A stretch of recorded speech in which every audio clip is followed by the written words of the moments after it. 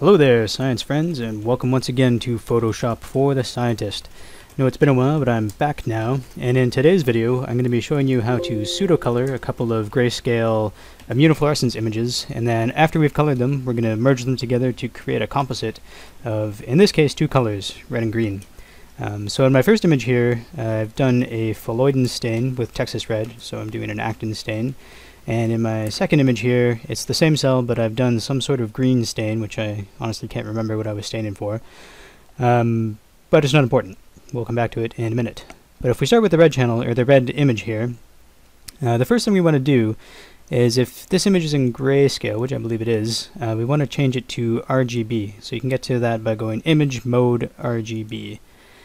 And the next thing we want to do is turn this into uh, red and black image like you would see sort of if you're using the microscope.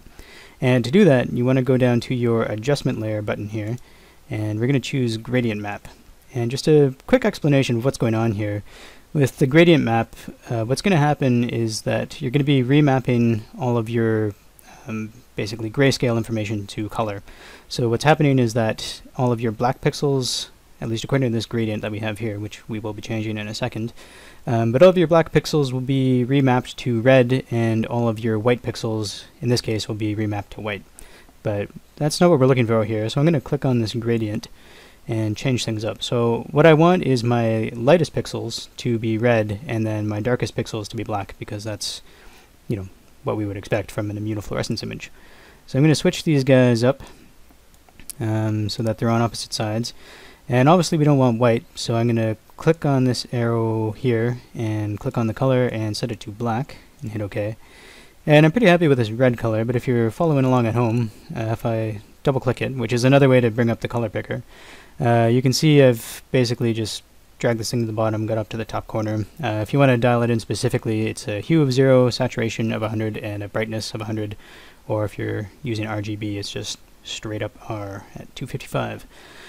So if we hit OK, uh, we'll hit OK out, out of there too. And that's all there is really you need to do to color this image.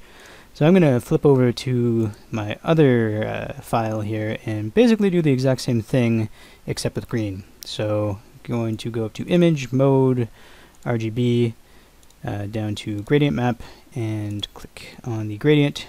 Switch this, uh, whoopsie daisy. So if this happens, I've inadvertently just dragged the arrow off. You can just click back on somewhere in this area right under the uh, little preview here.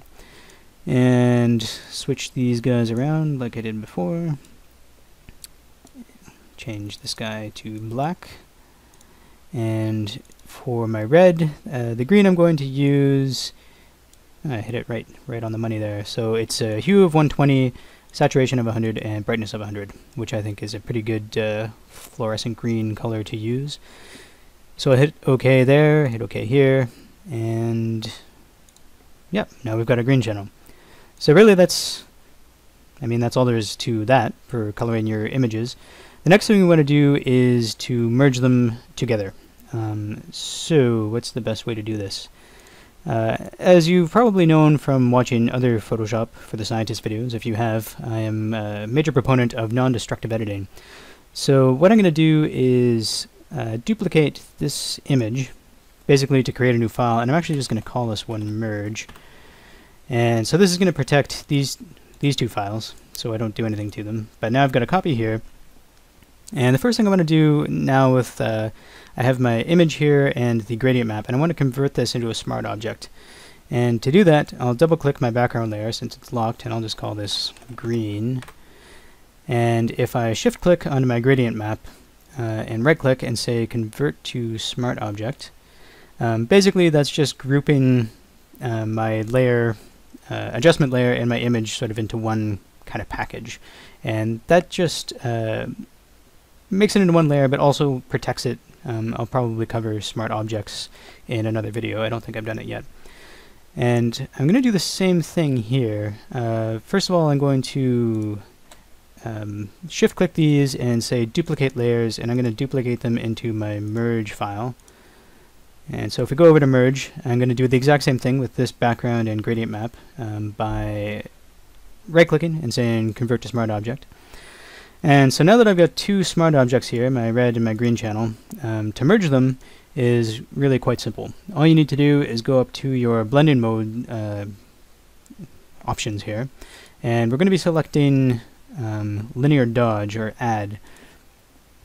And there you go. I mean, that's your merge.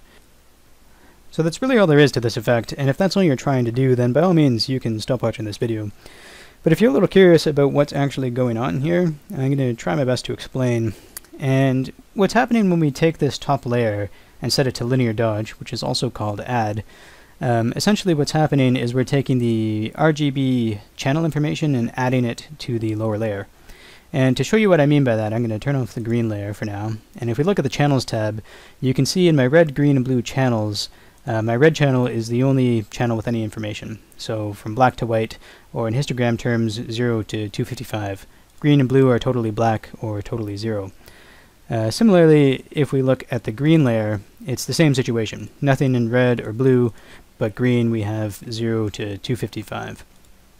And so when we use the add blend mode, essentially what's happening here is taking the red channel from 0 to 255 and adding that to the red channel of this layer here, which, like I said, used to be 0, but now it has the 0 to 255 information from the uh, layer that's above it. And if we look here, you can see that's exactly what happened. Um, we have our red channel information here, green channel information here, and still nothing in the blue because there's no blue anywhere in this image, and we didn't record any. Um, so you notice with these two channels, uh, it's basically where we started with at the start of the project. Uh, we had a black and white image for the phalloidin stain and a black and white image for my, my green stain. And so what's handy here is that all of the original information that I had from these files has been maintained. And while it's not really important for just making a nice picture for a figure, if ever you do want to get into sort of more image analysis, um, maybe looking at colocalization or any sort of intensity values, uh, it's really handy to be able to have this information to come back to.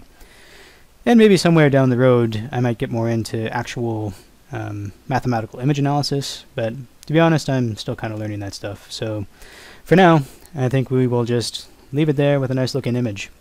So I guess we'll call that a lesson for today. As always, if you have any questions or comments, feel free to leave them below, and I will do my best to respond to them, as I always do. Uh, if you haven't subscribed yet, I would implore you to do so. Uh, YouTube keeps telling me that I should be asking you guys to do that.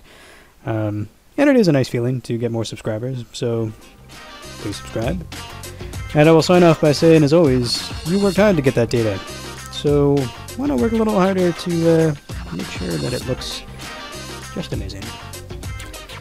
Okay, alright folks, that does it for today, and I will see you all next time.